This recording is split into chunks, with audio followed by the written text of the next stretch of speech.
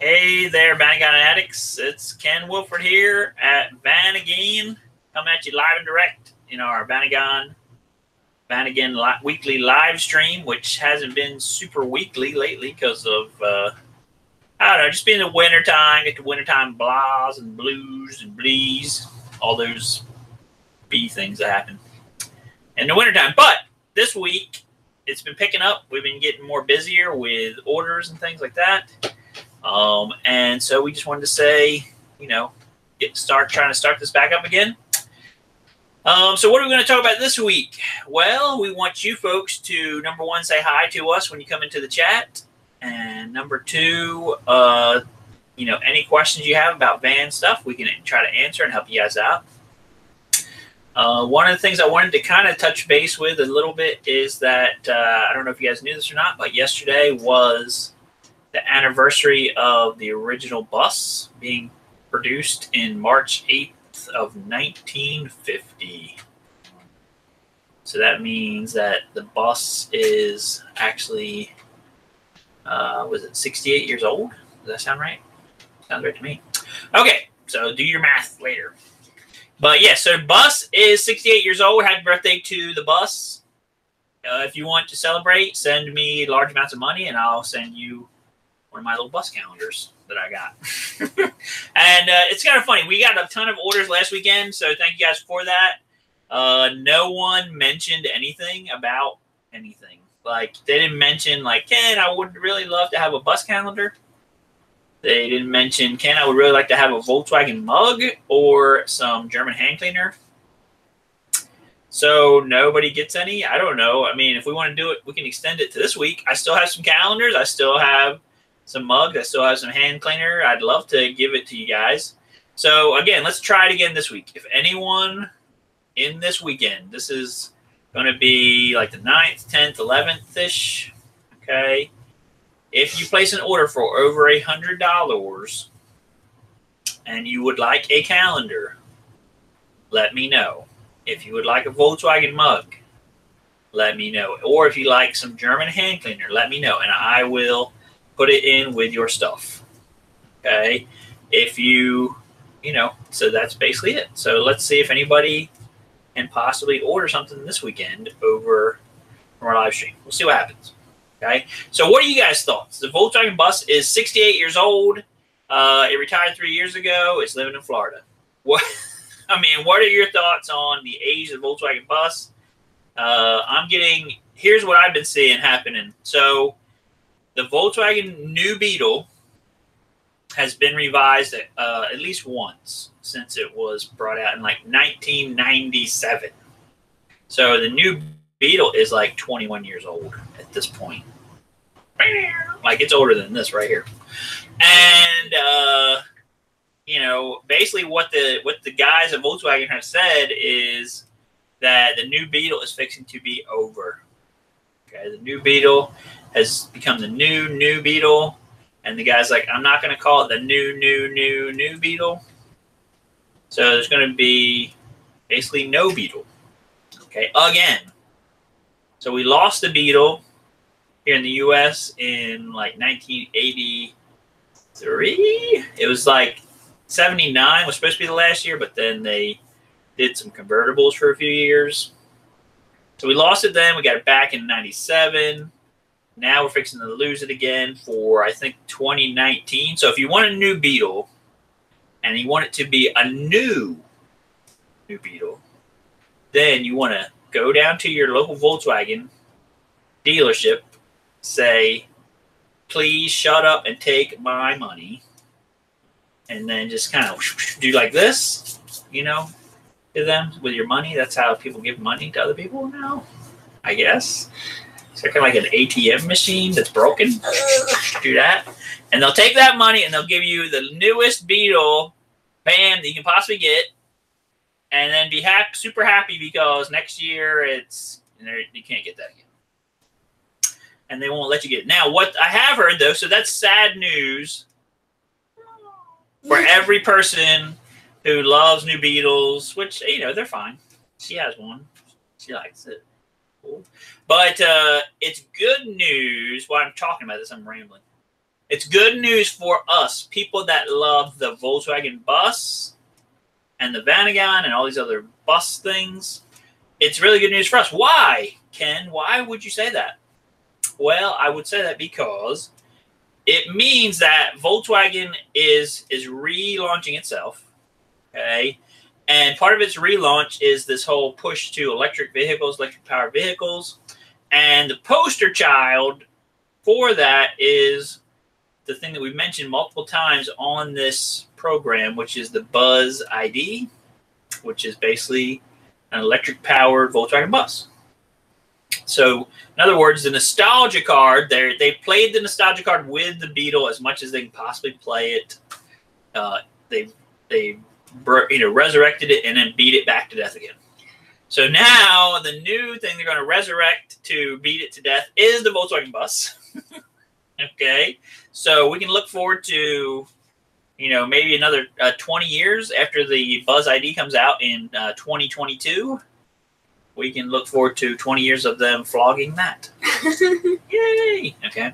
But I mean, the so you're saying, why is that good news for me? I'm not going to run out and purchase a Buzz ID. I don't have uh, $40,000 or whatever it's going to cost, $35,000. I mean, anytime that one of these new retro vehicles come out, right, what always happens? The stuff that it's imitating, people get new interest in it. It sparks more interest.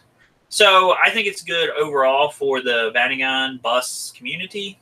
I think it's going to help even get more interest and bring more interest into the community. So there you go. All right, so that's uh, my little ramble on that. See, we got. What do you guys think about that? Am I right, wrong, up, down, left, right, A, B, B, A, start? Okay. um, let's continue on. I was reading a well, I watched a show the other day that has a man in it who is president. Um, his name is Kiefer Sutherland. Have you heard of this man? Uh, I vaguely have recollect him. And anyway, uh, Kiefer is playing the president of the United States, uh, and he is actually doing a really great job in this show. It's called Designated Survivor. I don't know if you guys have ever heard of this show before. Uh, anyway, there's a scene in Designated Survivor, not this week's episode, but the previous week's episode, where a Vanagon is seen for about two seconds. So there you go. Watch that entire episode and see if you can find it. But it's actually like right in the center of the screen, and it's like good sized. Uh, basically in the episode they're in Cuba, okay, um, and these guys like, uh, what do you want to say? Trying to, I keep thinking hijack. That ain't right. They they they grab these people, whatever word that is. Kidnap. Kidnap. Yes. See, young people have to tell us words. We can't oh remember. Oh my gosh! Kid, they kidnap this group of people. They hold them hostage, and it's kind of ridiculous. But at one point, I can't. I kept thinking hijack. I'm like, well, that is not the right word. Kidnap. And at one point, this woman's getting away. Uh, and spoiler alert, she doesn't get away. But the bad guys drive up in a Vanagon, right? Of course, they always are are evil, and they're evil Vanagons. but they drive up and stop her from escaping. Uh, if she ran just a little bit faster, she could probably escape them because you know it, it was kind of funny too. I'm like, after the I saw it, I'm sitting there thinking, you know, Cuba. I mean, this is a country where all the cars there are like from the 50s. So if there was a, bu- a Vanagon or a Volkswagen van there, wouldn't it be like a bus? But anyway, you know, it's probably like one of those error things. We'll have to, I have to call Kiefer tonight and we'll talk about it. Okay, because we my weekly call to him. okay. We'll call him up, and uh, I'm sure he will fix it later. We'll like kind of edit that part out later. Um. All right. So let's continue on. All right. Another thing that I got slightly excited about, but then lost all will to live after learning about was um. I don't know if you guys know a person called Teri Hatcher. Have you ever heard of this person?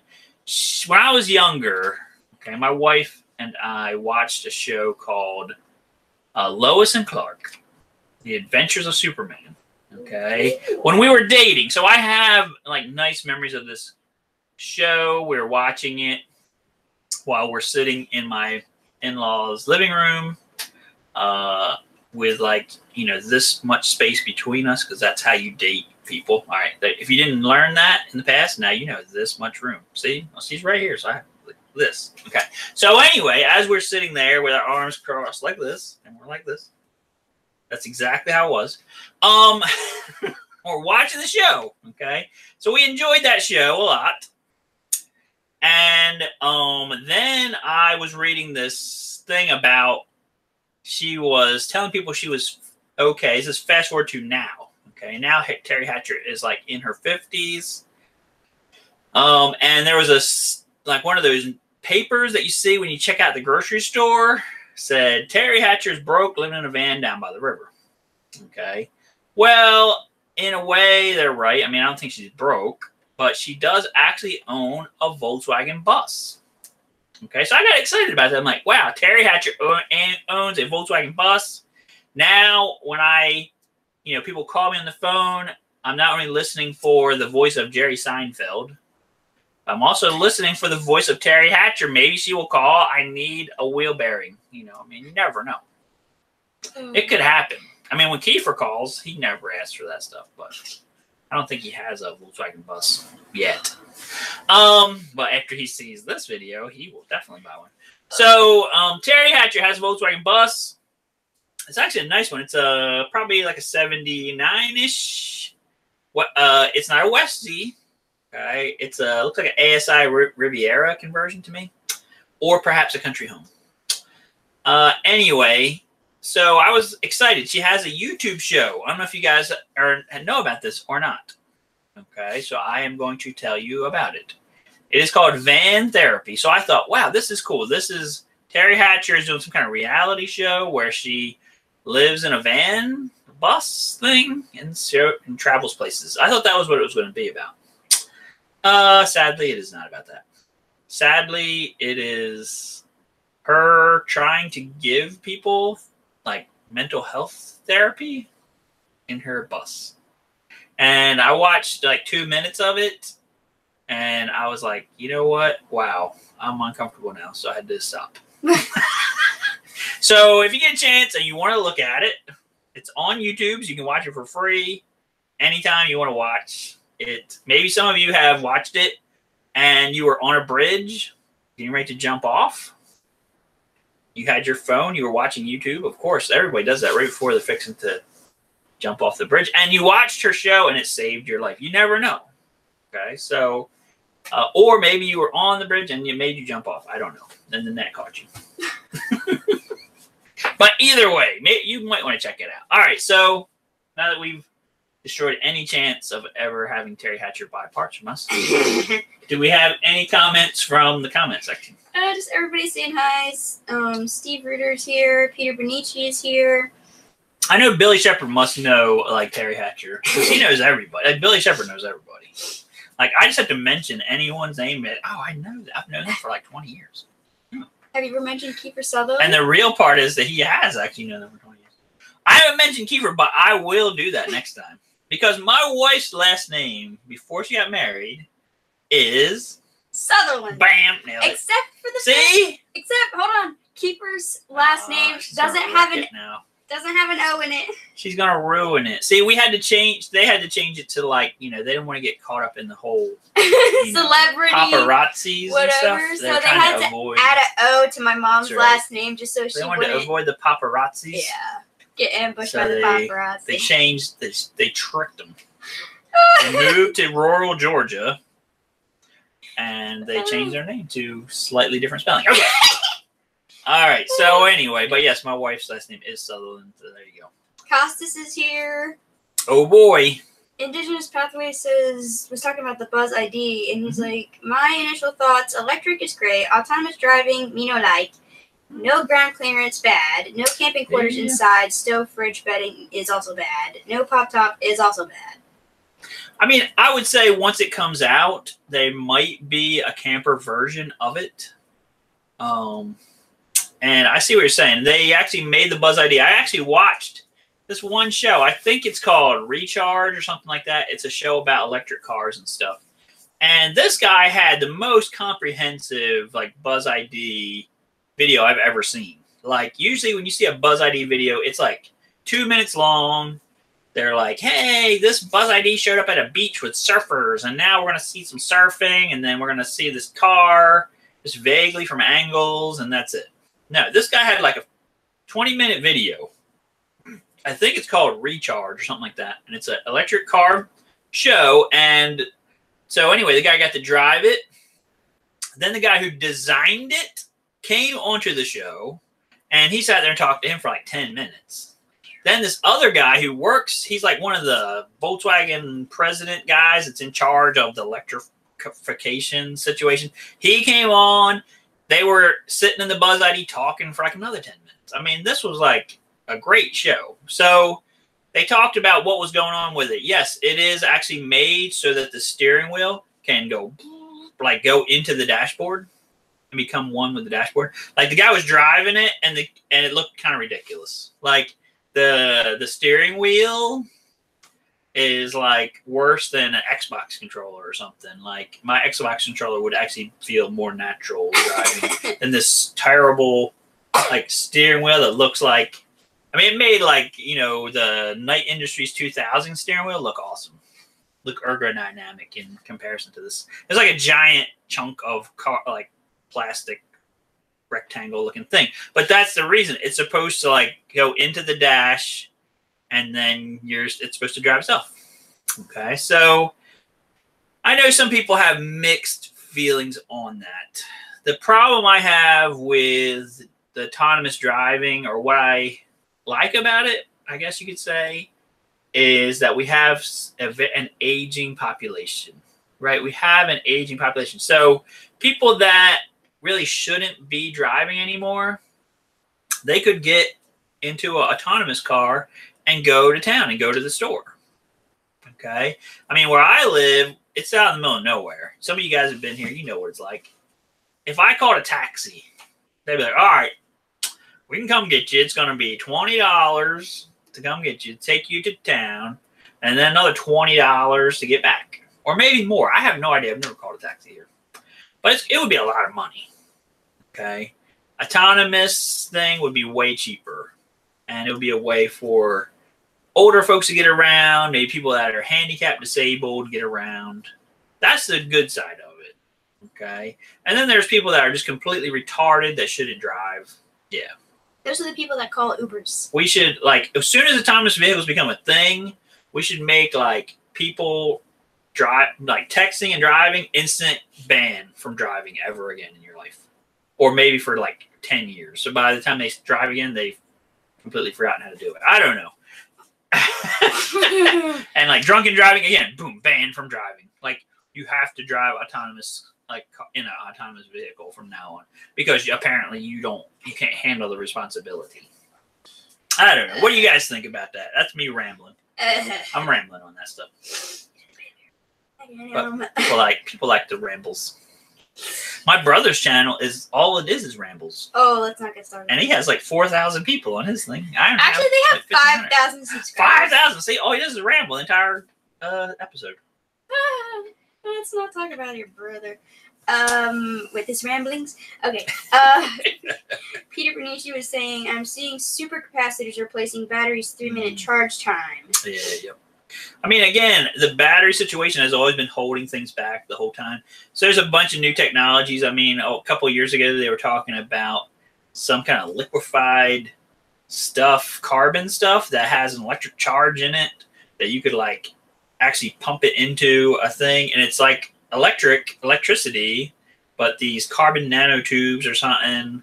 And you're like pumping it in there and that's recharging it. And it's just like filling up gas uh, you know, so there's all kinds of weird ideas. The the supercapacitors would be the best idea because you could recharge them very very quickly. Um, just recently, they've been changing the um, they've been experimenting with some new uh, chemistry of the batteries to allow them to like recharge faster and also extend their life so that you could actually get um, over like 5,000 cycles out of a battery And I mean, that's basically a 10 year lifespan. That's actually kind of good okay, for electric battery uh, before having to replace it, which, you know, spoiler alert, that means the car is over at that point.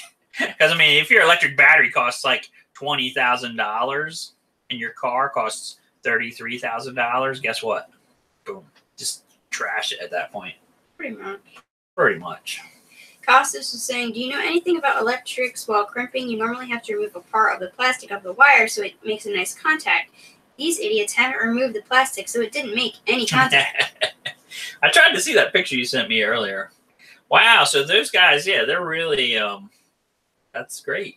I mean, even, even I know you're supposed to take some of the plastic off before you crimp the wires. like, if I know this, how did they not know this? much. Professionals. Um, yeah, I don't I don't really know what to say to that. Just that's just one of those things that's common sense. Uh, if you don't have that, which some people don't, it's weird though. Costas. I mean, I've been in countries before where the people are poor. They want to make money. When someone comes to them and says, "Can you do whatever? Can you dig? Can you put in an in-ground swimming pool?" Yes. Can you make a house? Yes. Can you do anything? Yeah, I drive. Yes, anything. Whatever you say. Because all they see is money coming out of you. You're it's flowing out of you and then it flows into them. And they're like, "Yeah, anything I have to do to make that money flow from you to me, I will do it." The sad part is, you know, eh, have they ever really the big question, not to ask them, can you do this? Say, have you ever built a swimming pool? No. Okay. Do you have a plan on how to build one? Dig a hole? I don't know. You know, you see what I'm saying? So when you're when you're looking for a mechanic or you're looking for uh, anybody to do anything, right? The best way to do it is to talk to other people and say, "Do you know somebody that does good work in this area? Can you recommend somebody?" Or if you go to the mechanic directly, you say, "Hey, um, do you have any references? Do you have another person that's worked you've worked for that you can like I can talk to them on the phone or something?" Because if you just go to somebody, I mean, you don't know. I had a guy a long time ago in uh, Chattanooga, Tennessee, and we went to him. Terrible. He would break stuff on purpose. Yeah, he would break stuff on purpose. He would fix one thing and break two other things so that he knew that you'd be back the next week for him to do more work. And yeah, it was horrible. He was like a total ripoff artist. And I wasn't, I'm not, some people, you know, some people say that and they don't really mean it when they say it, like, ah, because the person like charged them a lot of money. Oh, they're a ripoff artist. No, no, no, no. If you break stuff on purpose so that people have to come back uh, the next week to get that fixed, uh, that's called you're you're basically committing fraud or something on them. Yeah. All right. So, any other things happening? Costas was talking about the Buzz ID, I guess. He Mhm. says, I personally don't like that it's actually not a bus, has nothing to do with the T1, no boxer engine, no split window, different interior, something kind of sad. They should make a water boxer revival. Revival. I mean, it's kind of funny. A few years ago, one of the guys who was high up on the Vanagon list for a long time. I don't know if you guys, uh, think it was this guy named Tom Forehand, which some of you guys probably have heard of before. And he's a nice guy. But he sold a company and got a lot of money. Okay. Um, and when he did that, he told me, he's like, I'm moving to China and I'm going to try to see if I can find a place in China that can make Syncro Westies. Okay, this was his idea that you know China, of course, they're making all kinds of vehicles. They make they actually make vehicles that look like other vehicles there. When you go to China, you can find a car that looks like a Jeep, or you can find a car that looks like you know pretty much a lot of other like a Lexus or something like that, but it's not a Lexus it's a Exless or something. You know, I mean, it's like the Chinese version of a Lexus. And so I guess he was thinking, hey, if they can do that, they could make right a knockoff version of a Westy Vanagon. But I never, thankfully, I guess for the best, I never heard anything about that project. I mean, it's been like a long time now. Uh, and if Tom's watching this and he's got his Vanagon Syncro China edition ready to come out, then I apologize, but uh, I spoiled that right then. But uh, you know, I mean, it would be very. It's like basically it would be impossible for a Vanagon to come back out again today. You know, even the Buzz ID, if you look at it, it has an actual nose on it, even though it doesn't have like a motor there or other things. It has a front to it. Why does it have a front to it? Because of crash testing things and trying to be safer and all that stuff. So, I mean, the Vanagon had its day, the bus had its day, and you know we enjoy that stuff. And you know, I I don't think bring that that day back um, is possible. Okay, I mean it would be nice. I would like it, but it's not really. I don't think it's possible. Steve Okay. says completely automated cars are still not allowed in Canada. Okay. Indigenous says interesting point about the autonomous driving for the elderly comes at a cost. How is who's to blame in the accidents? They're mm-hmm. testing vehicles in Arizona and California without a person in the vehicle. Yeah, I mean that's all part. That's all for the lawyers to decide who's in who's in trouble. I would say it would be the company that designed the cars and the software and that kind of thing. Most likely. I mean, it's definitely not the person that's sitting in the car because they were haven't did anything. They're Yeah. sitting there. The computer's driving them around, and they're just along for the ride. I feel So like the company would get more lawsuits really because yeah. the program the AIs and stuff for driving. Yeah. So I mean, this is America, so you know, of course, there's going to be class action lawsuits. And if you've ever rode in a in a autonomous car, you will get two cents, and the lawyer's got fifty million dollars, and then each person gets two cents. So you know that's how it works, yep, right? Aren't they great? I love class action lawsuits; they're the best. basically not even worth it. I mean, it's not worth it for us, but if you're a lawyer, you're like, mm, fifty million dollars.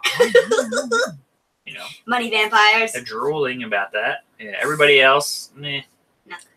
But it keeps the companies, you know, on their toes and stuff. And uh, I mean, I'm sure, like I said, the companies that design the car or the software, they will probably have insurance to deal with those situations. I would imagine.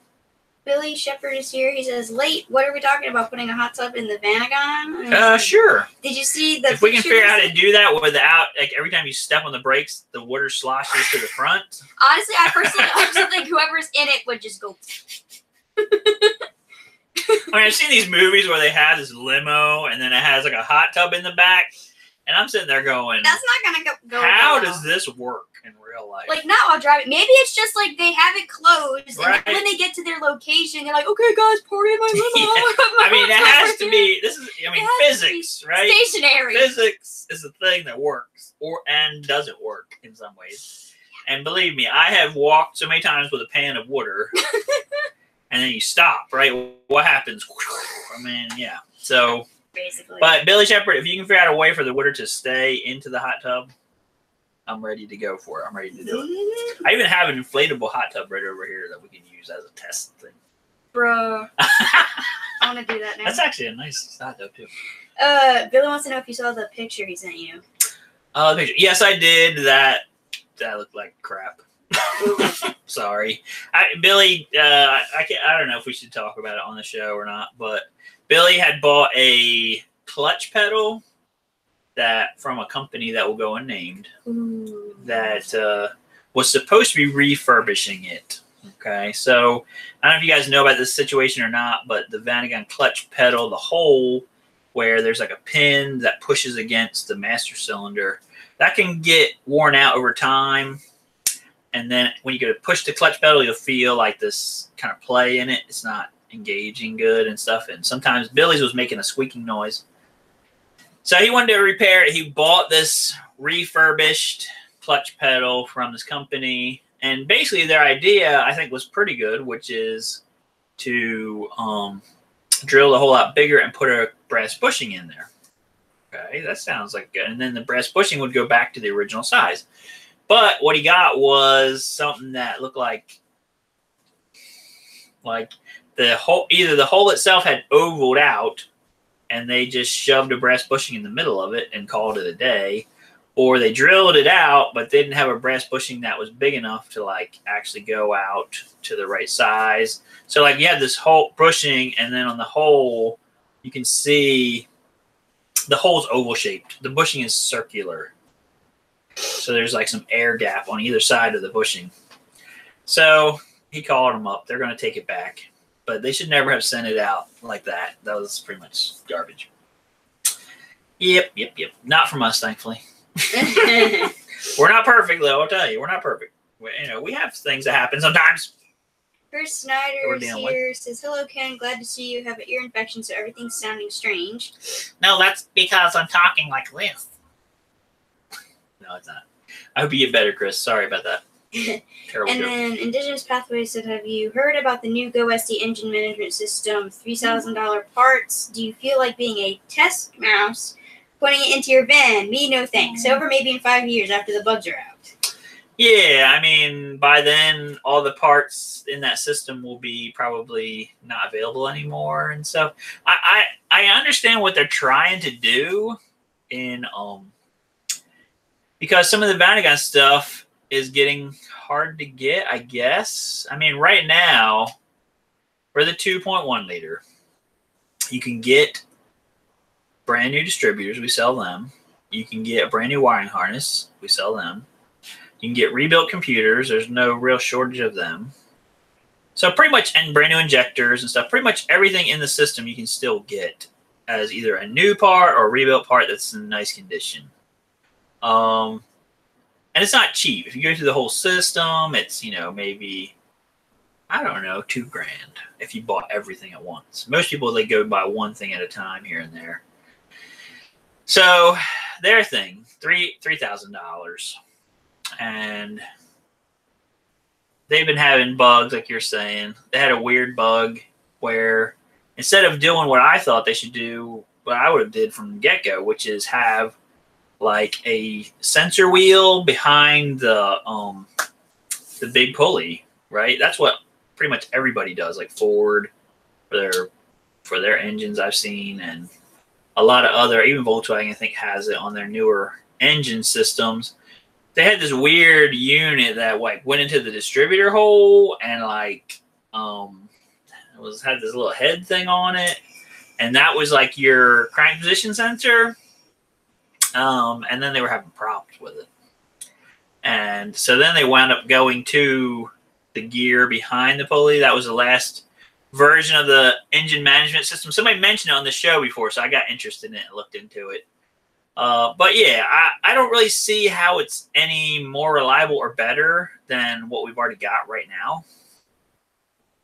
I really don't. I mean, the the Digifant system is a good system, and it's you pretty much know like all the quirks of it.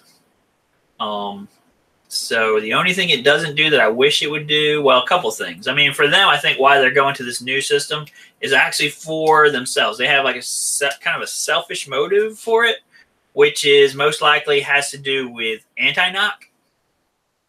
Okay, because when you jack a motor up to the sky, a 2.3, a 2.5, or whatever their biggest motor is, and you do not have a knock sensor on it, it will blow up.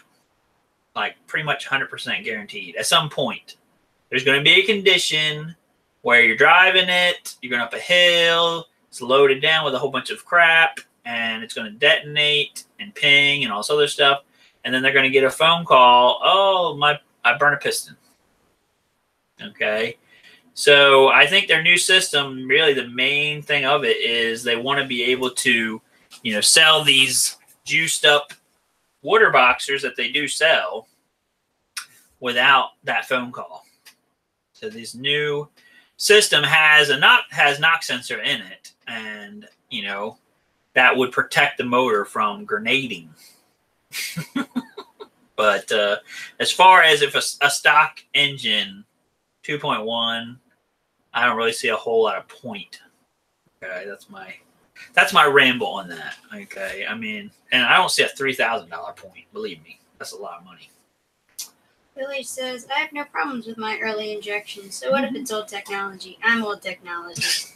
I mean, it's tested, and the quirks are well known. So, Um, and really, you know, it's cheaper even still. If if their system was somehow less expensive than what's out there right now, it would make some more sense that way. But it's not; it's more expensive. Um, it has OBD2, but OBD2 is only as good as like the stuff behind it. Like in other words, uh, I do her car OBD2. Her car's OBD2. Okay, so her car throws me a code, and I look it up, and it says this sensor is having a problem. Okay, so you would think, okay, I'll just go replace that. Bam. Okay, no, no, no. I never do that. I put that code into the computer, into Google. I put Beetle 2001 Beetle P01506 or something and it comes up with all these people who have had the exact same code and they're telling me yeah that's because it needs a new water pump or it needs a new timing belt or it needs this or that okay so you know the problem obd2 is good in that it gives you an idea of what's going on but you have to also be able to interpret it properly and so the only way that i found to do that consistently is to like see what other people are experiencing like the, the knowledge base so their system that you would have to build that. Okay, you would have to build that. In other words, you know, Joe Blow is going to get this code, and then everybody is going to sit there and go, "What's that causing that? Is it a bad wire? Is it a sensor? Is it the motor itself is turning into a pile of garbage or whatever?" And you know, until they build that knowledge base too, which takes five years, ten years. you see what I'm saying? It's uh, yeah, it's questionable. So I'm going to get off that rantification. Billy says, um, unless Billy pushes me back into it. Leave them stuck for as long as you can. As you can. Thinking. Yeah, and I mean, we still have it. I mean, there's even people that rebuild the throttle bodies now. They put new bushings in there and clean them all up and make them look nice and basically take them back to new. They're not cheap, but they're not ridiculously expensive.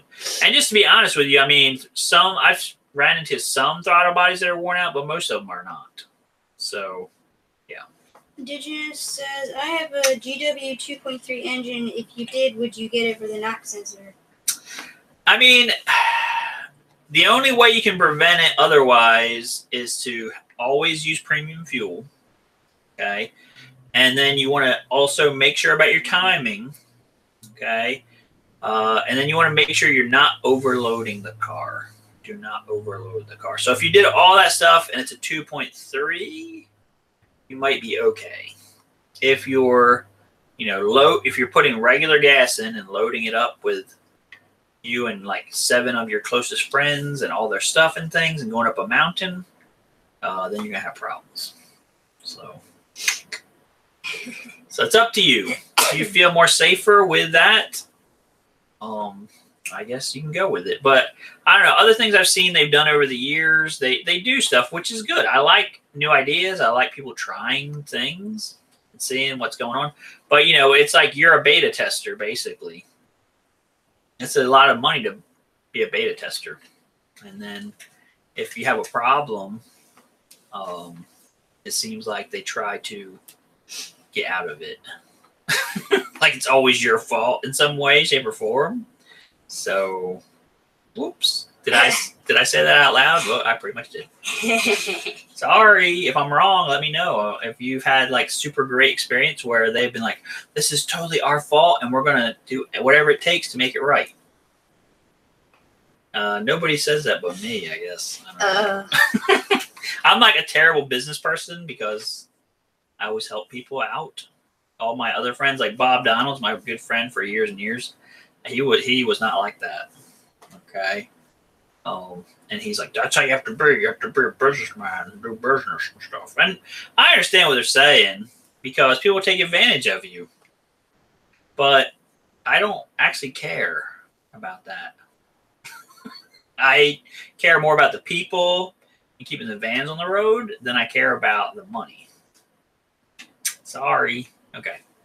Hope that didn't crush anyone's dreams. Indigenous says I use high octane only. Regular visits to the mechanic, so timing is good. Okay. Moderate storage, but nothing super heavy. I agree. Beta tester. Thanks for your info. Yeah. Yeah, I mean it's a beta. And I mean that beta test has been going on for a while. I mean I remember when everybody got into that back like 10 years ago. So, I mean, it's been a while. And I think this idea of the fuel injection system is coming out of that, you know, that they had problems and issues and they're trying to address it. So, I mean, that's good. Uh, I don't know if this is the ultimate solution. Not. Okay, let's continue on. Process was talking about, I guess, the same thing. He said, I agree, the worst is to tune them because they're not built for this amount of power. Mm-hmm. mm-hmm. Yeah. I mean, you know, every, back in the day, they used to put these big engines in bugs. Okay, they used to have 2.3, 2.5. I think you still build bug engines like that. Okay, and they never lasted, but a lot of that had to do with like it didn't help that they were air cooled. Okay, mean the air cooled situation, you got a lot more expansion and contraction things going on.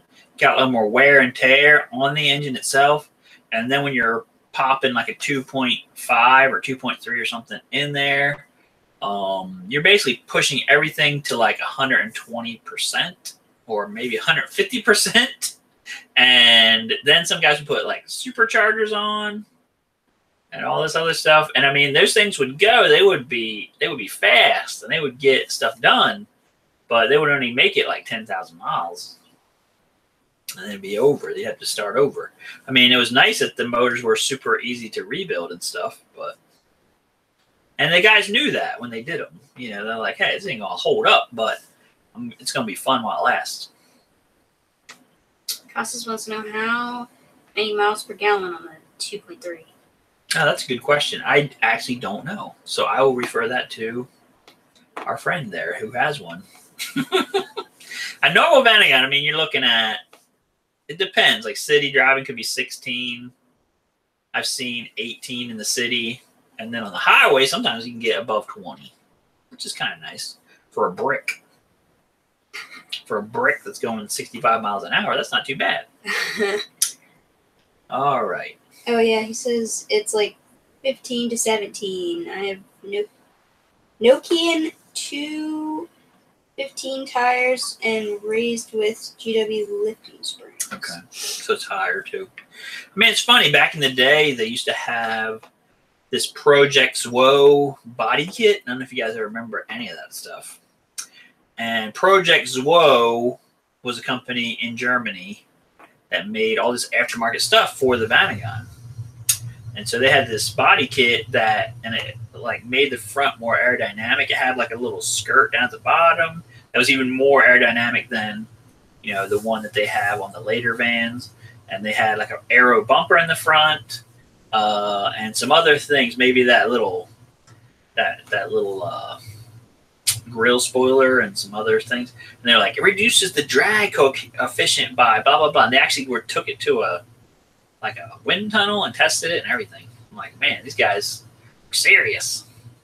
But I've never actually seen that kit on any van in the U.S. I've only seen it on like at meetups in Germany and stuff. So I probably never made it over. It was like super expensive too. Like the body kit was like I don't know three or four thousand dollars, and back then that was that was ridiculous money. Nobody was going to spend that on a bounty Vanagon.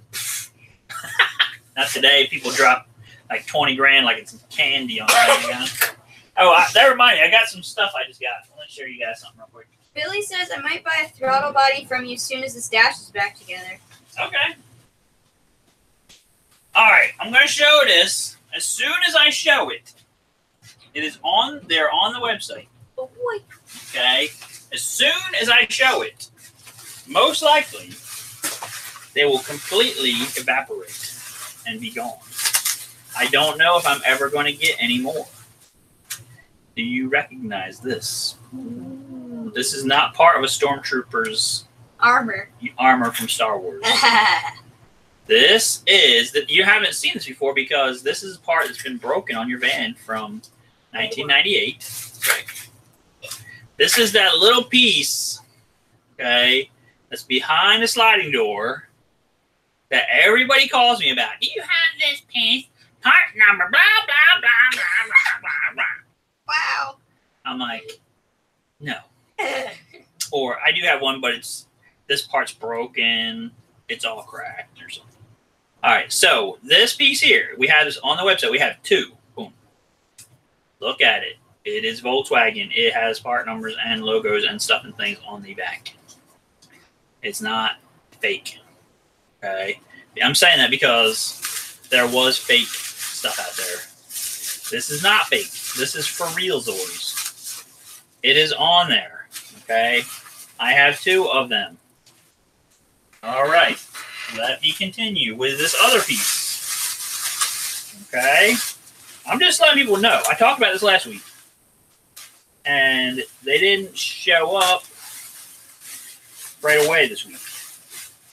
Because this lady at FedEx I had to teach her her job of how to import items into the U.S. That this is her whole job, right? I mean, you know it's bad when the customers have to train the employees of another co- of a smell company. this, smell it, this smell it. Ooh, it's got that new plastic smell. It's got that resin, that really beautiful resin odor. Mm. You see what this is?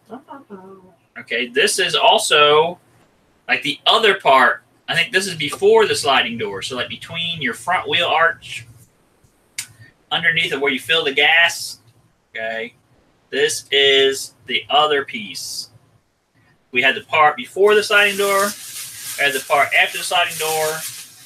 Again, look on the back. It's got part number deals on there. It's got Volkswagen logos on there.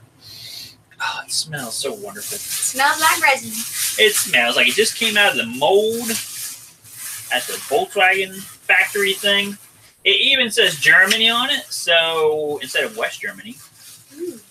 So you know, it might be recent. We don't know. So I have two of those as well, and they're on the site. They are white because that's how they actually came originally. Uh, you can paint them any color you like: purple, green, orange, maybe rainbow. if you're like if you like that. Uh, so go for that. Like I said, two and two.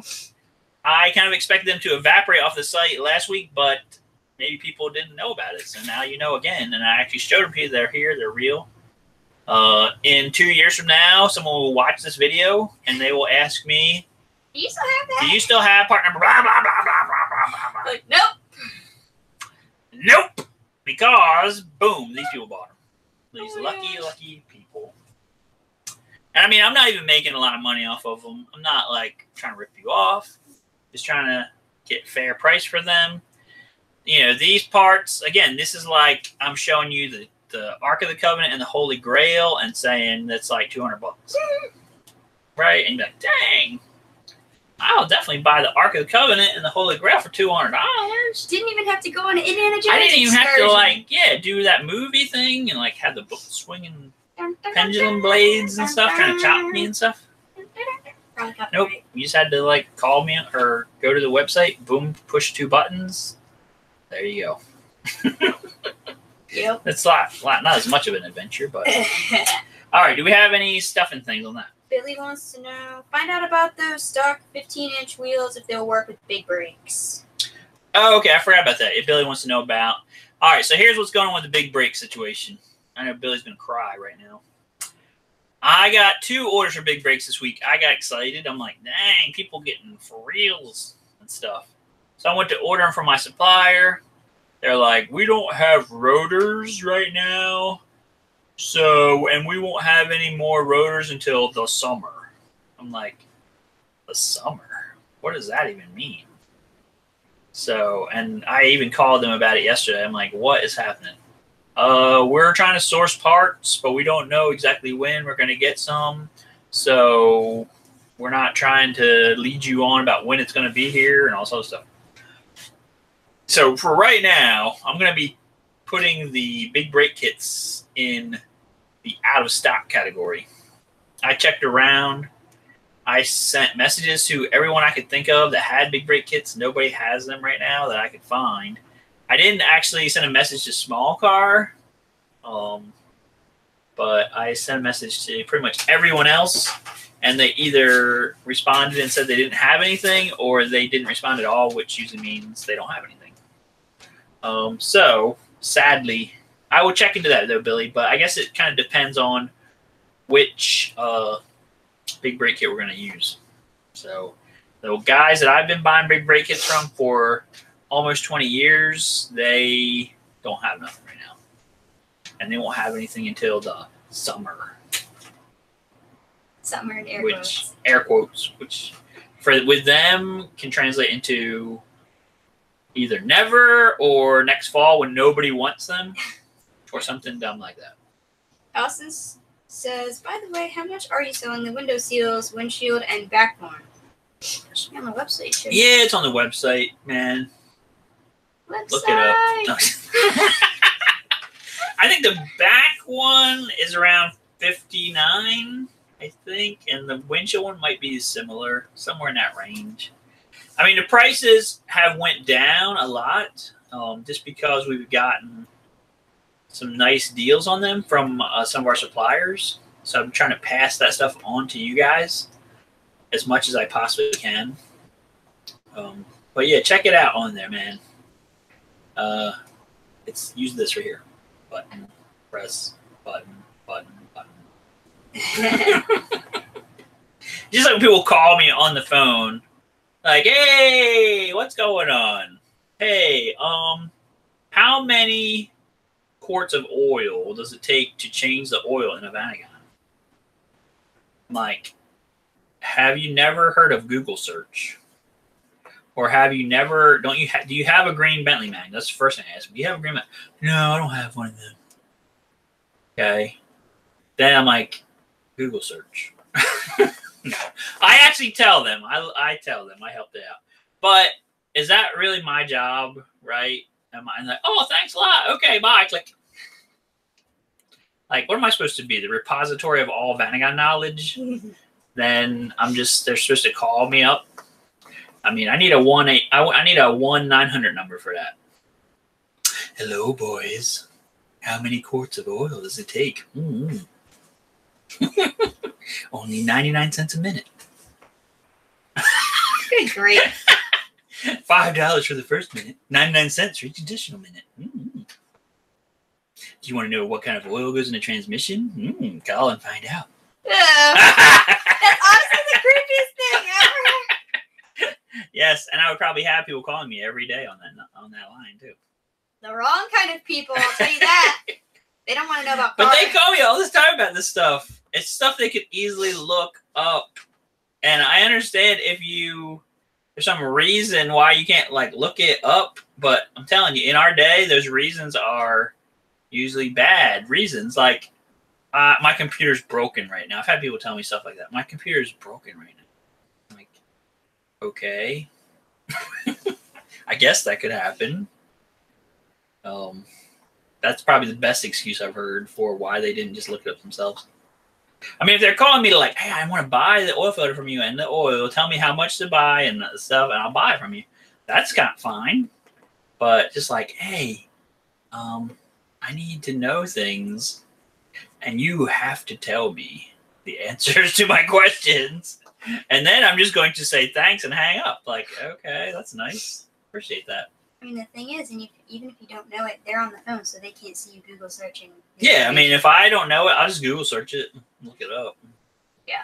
And stuff. I mean, the real and it's funny too, though. I mean, here's people. So there's people that ask, call me and ask me these mundane questions. There's people that call me up and they act like I have memorized the entire wiring diagram of the Vanagon. They're like, Ken, I'm in the engine bay right now and I'm looking at wire number 67 and it's blue with a red stripe. What's that go to? I'm like, I don't know.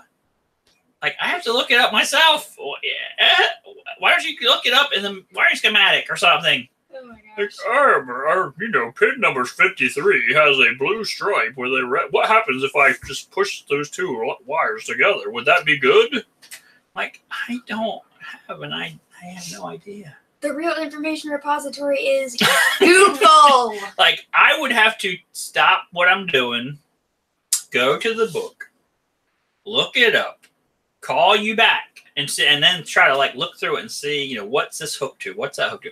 Call you back. I mean, I don't know this off the top of my head, man. Come on, I'm not like a, you know, I mean, yeah, I'm not that good. I appreciate your faith in me that way. that I could, I'm like a uh, idiot savant with the Vanagon wiring there. Uh, totally like number 22, but totally, totally 22. All right. She doesn't get that reference. I'll look it up later. Rain Man. Okay. Rain Man reference.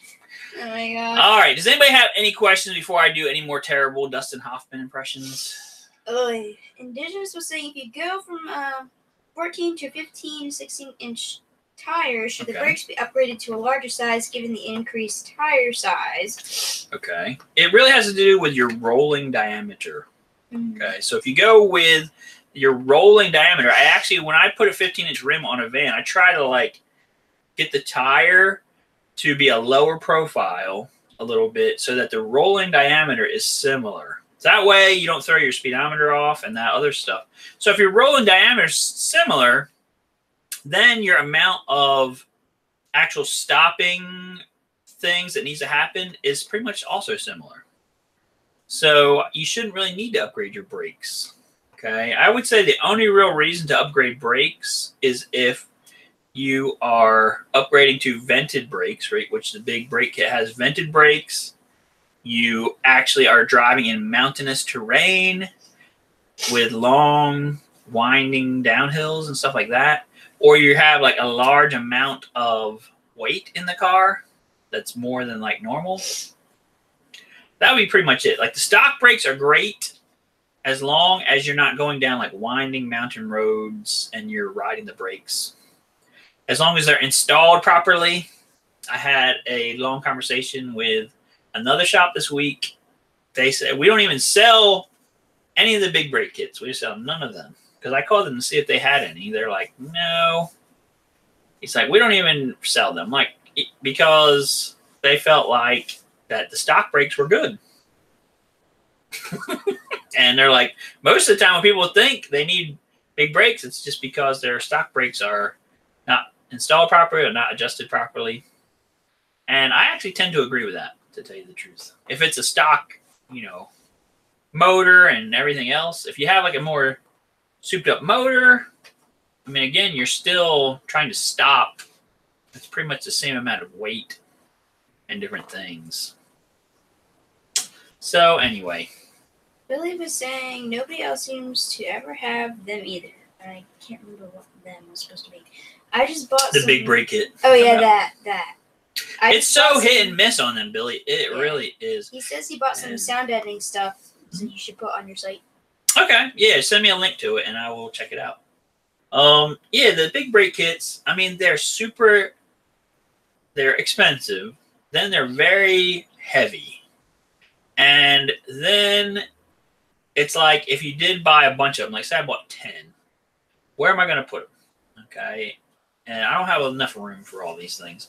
Then I I've just tied up like thousands and thousands of dollars just on the speculation of when you know people will want them at some point. Um, it's just it's a lot of it's a lot of speculation and money sitting there not doing anything for you for like months and months and months.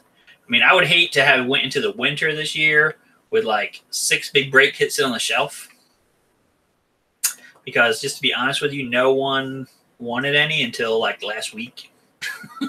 so it would have been sitting here like tying up thousands of bucks and I'd be paying interest and all this other stuff on this stuff just to let it sit here.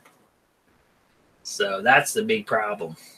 Mm-hmm. All right, that's just part of the fun of having a Vanagon store. In the wintertime, uh, you know, you can't eat. I can't eat any of this stuff. I can't eat brake parts and whatnot. I don't eat food And food costs money. and food costs money. And so, in order to eat food, we basically go into debt in the wintertime. Yep. But then by, you know, probably April or so, it's we're back out of the hole again. So, so a lot of businesses are, are run that way. Yep. Okie doke. Don't want to give away too many secrets to my success. All right. Does anybody else have any questions? It's actually about time to be over. Can't believe we managed to go squander another hour on Teri Hatcher and also uh, other things. Ah, Steve was saying when I had my first van, we had no internet on phones. And then Indigenous said California has wind. I'm not sure if it's windy or windy. Windy. It's definitely windy. I remember us driving in on that. That was bad.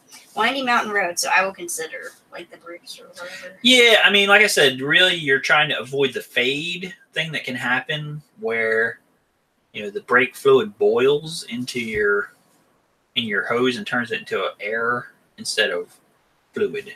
So, um, but even when you have stock brakes, I mean, sometimes the whole reason why that's happening is because they're dragging and stuff, and you know, it needs like new calipers. So, I mean, one of the first things I do whenever I get a van is like go through the brake system. And recently, every single one I buy basically needs all new calipers, rotors, pads, wheel cylinders. Like I just do all that stuff. I'm like, you know what? I don't want to take any chances on any of this brake stuff. If it's over, been on the van for five or six or seven or eight years and it's been setting, it's probably bad. And usually, it, you know, like we had the one van I just sold not too long ago, it was all frozen from setting. Sat for about 10 years. Everything was frozen solid. Couldn't even move the van because the calipers had frozen. And the sad part was they were actually rebuilt ones that weren't old when it got sat there. Like they were pretty much brand new rebuilt ones. And they sat there for 10 years and froze up solid and were bad. That kind of sucks because it like feels like a total waste of money. It is a waste of like money. Like you spend all this money, you get your thing rebuilt and like whatever to get it in good condition, and then it just like wastes. if it sets, if it sets, man, you gotta you either use it or lose it. Right? You either use it or lose it. I've known people that's put hundreds and hundreds of thousands of miles on their Vanagon, didn't barely have any problems with it. I've known other people that's had problems and problems and problems and problems. But a lot of times it just sets. They use it as like an RV. And that's kind of the worst way to do it. If you at least can drive it like once a week, better than it's setting for six months. Costas is like mine was standing for 19 and they were not solid. Lucky. Yeah, he's lucky. I mean, I yeah. it could be partly his uh their environment.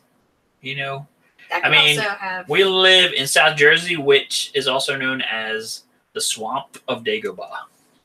Yay. and it used to be a swamp. Then they filled in some of it and turned it into farmland. Then they decided that was dumb and let it all go back to swamp again. so we're in the swamp era again, mm. and yeah, stuff like it just stuff like it, it depends on your climate. You know, I mean, people drive here from California, their van is like totally rust free and beautiful. And within like six months, they drive back to my shop and they're getting rust on it and different things because of the climate. You know, we don't have this nice, like, desert climate or whatever. I know Costas is living in a, uh, like near the ocean and stuff. That's never good, but who knows? Billy wants to know: Should I change my master cylinder while the dash is out? Yeah, if it's if you don't know the history of it, I would say yes. If it's been replaced recently, then you're fine. If it's, I mean, it's not hard to replace it with the dash on. It's it's really it's slightly easier without the dash on, but not that much easier. So it's up to you, Billy. I leave that to you. If you know the history of it and you say it was replaced like four years ago, it's probably still fine. If you don't know the history of it, I would replace it. Mm. Costas says, "Luckily, the climate is good. Few kilometers far from the ocean. I mean, you're lucky that you have good weather or whatever. Yeah. Here, it's gone like this. Lot. winter was pretty bad. like it's a lot, bad. and everyone is getting sick left and right. And like, I may or may not be having a relapse, and it's just like a living nightmare. It's Uh, really annoying. I don't know if I'd do that far, but it's yeah. Like I said before, it's been frustrating because I have some some uh projects that we're trying to do, and to do them, you kind of need the weather to be halfway decent, yeah. and it hasn't been that. It's Pretty been- much every time that we're like, oh, let's do this thing, the weather's like, haha, no, you can't do this thing. snow, Yeah, rain and snow, pretty much. more rain, more snow. I mean, it's like March now. Hopefully, Flooding it's coming things. to like an end, and then Yeah, it'll yeah. get warmer, and we can actually flooding. get stuff done. Yep, yep. That's the plan. All right, guys. So that is going to be it for today. If you want to buy these beautiful pieces of Volkswagen Vanagon history, go to the website. They're on there. So if you go, if you see this video later on, like Saturday morning cartoons, okay, you go over here on this side, you're going to see another video you can watch. If you go over here on this side, you're going to see a little button you can click and take you to the website where you can buy stuff to say thank you to us and thank you to your van because your van needs stuff. And it would love it will love you for it. Believe me, it will love you for it. Indigenous have more time to spend inside watching Teri Hatcher. oh my gosh! Now Terry, now uh, Indigenous is gonna have like a Teri Hatcher marathon oh boy. on his uh on her new show. Which I'm uh. telling you, if you can watch that show, Van Therapy, without being uncomfortable, I will. I don't know what I will do, but I will pat you on the back and say you're a better person than me because I'm telling you. I like Teri Hatcher. I tried to watch that show and I couldn't. I couldn't do it. Maybe I have mental issues that need to be resolved. It's very possible, but so anyway, have a great day, guys. Get more smiles down with your band. Hopefully, Lord willing, we'll be back next Friday again for another uh, live stream. And in the meantime, um, you know, think about some questions and things you have, and we'll be glad to talk about them next week. And leave us some comments. If you liked it, give us a thumbs up. If you didn't like it, big thumbs down. It Doesn't actually matter. I get good points out of it either way, so I don't really care. And but I do like the thumbs up. That's like emotionally. Terry has talked to me about this. That helps my inner self to grow. Uh, so, so if you give us thumbs up, we appreciate that. And like, share, subscribe, all that good stuff. All right, guys, have a great weekend. We'll see you on the next video. Bye.